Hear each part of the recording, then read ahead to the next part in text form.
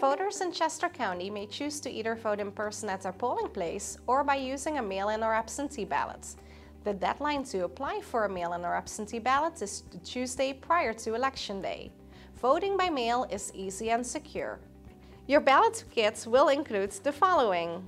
A declaration envelope with an orange stripe, an orange secrecy envelope, a ballot, instructions inserts, and a yellow flyer. Voters should carefully go over each of these materials as they provide important information that can help to ensure that a ballot is not rejected. Mark your ballots. Verify your selections carefully.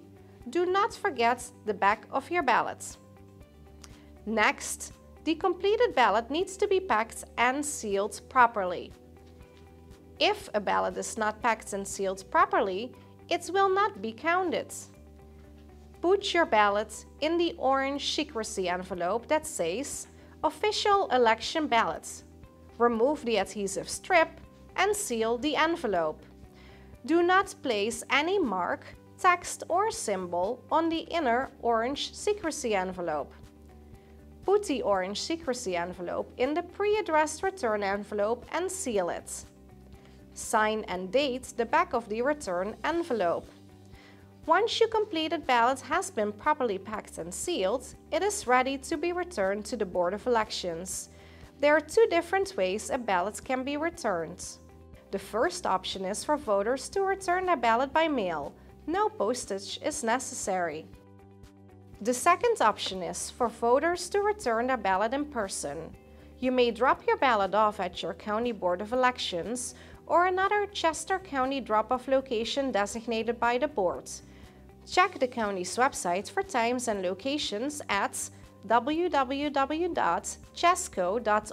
forward slash election. Please remember, if you plan to deliver your ballot in person, you must deliver it yourself.